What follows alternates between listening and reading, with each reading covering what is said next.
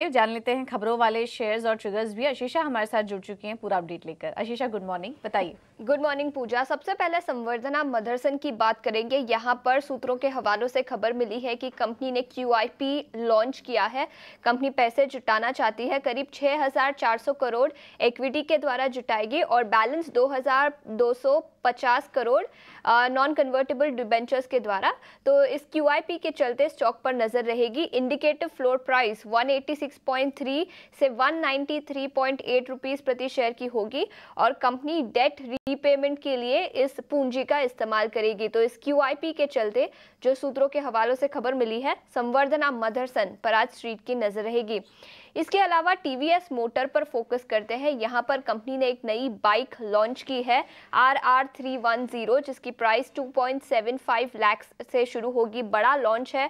Company का ये flagship product होगा super premium sports motorcycle category में।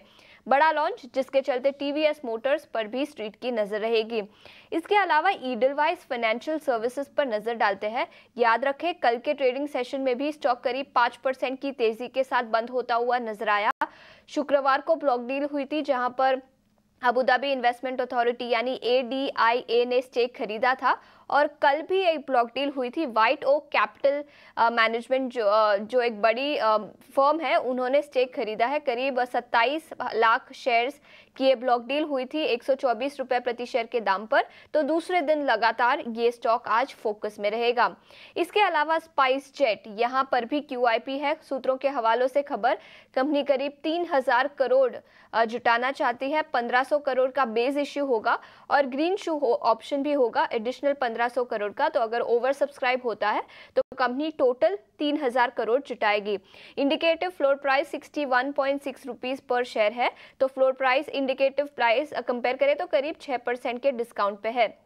38 परसेंट इक्विटी डाइल्यूशन होगा इस फंड रेस के चलते, और कंपनी ने कहा कि statutory due repayment date repayment और नई परचेजेस के लिए इन फंड्स का इस्तेमाल किया जाएगा। तो क्यूआईपी के चलते स्पाइस जेट पर भी अपनी नज़र रखें। और लास्ट में वेदांता पर फोकस करते हैं। याद रखें, कल कुछ न्यूज़ रिपोर्ट्स आई थी कि कंपनी की जो फैसिलिटी है ओडिशा में लांजीगढ़ एल्यूमिना रिफाइनरी वहाँ पर कुछ ब्रीच हुआ है। वाटर स्टोरेज पॉन्ड के चलते कुछ रिपोर्ट्स आई थी स्टॉक पर भी इम्पैक्ट दिखा था, लेकिन अब कंपनी ने क्लैरिफाई किया है कि कोई डिसरप्शन नहीं है इस पर्टिकुलर रिफाइनरी में। और प्रोडक्शन जैसे पहले चल रहा था, वैसे ही चल रहा है। कोई इम्पैक्ट नहीं है, जिसके चलते इंपॉर्टेंट क्लैरिफिकेशन है, वेदांता पर भी इस न्यूज़ के चलते आज नज़र रहेगी।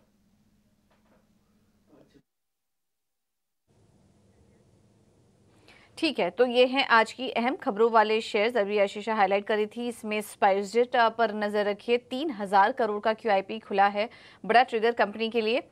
Vedanta Samvardhana TVS Motors Edelweiss financial जैसे स्टॉक से जुड़ी आज अहम खबर आ रही हैं तो इंस्टा, इन तमाम शेयरों पर आज फोकस रहेगा।